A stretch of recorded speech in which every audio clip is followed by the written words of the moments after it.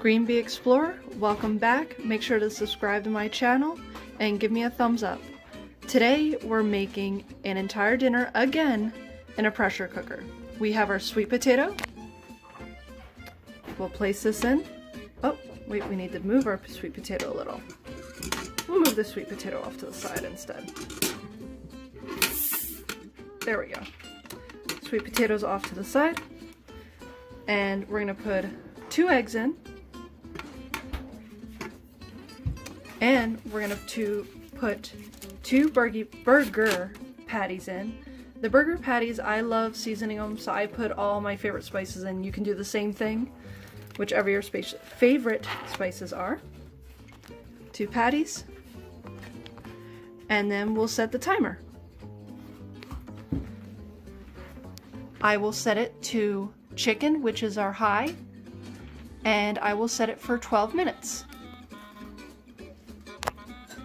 So close our lid. We're gonna say chicken. I'm gonna say cook time, and then I'm gonna put it down to 12, oops, 12 minutes. Start, and check your little steam release, and the steam release is back, locking all the steam in. Now you ask, what is going on top of the burger bagel?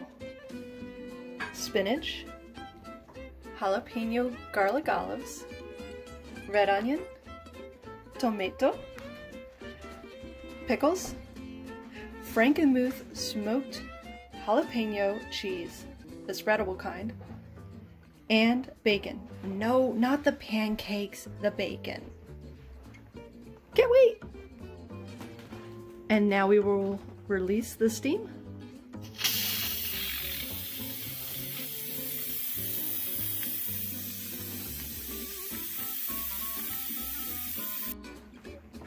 Let's, we're gonna open.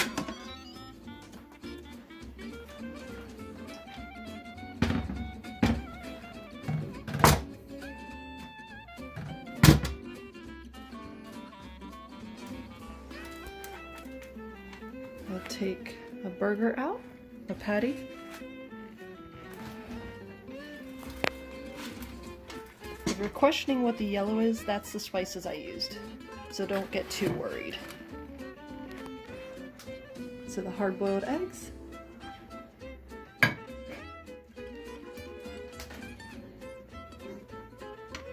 One more.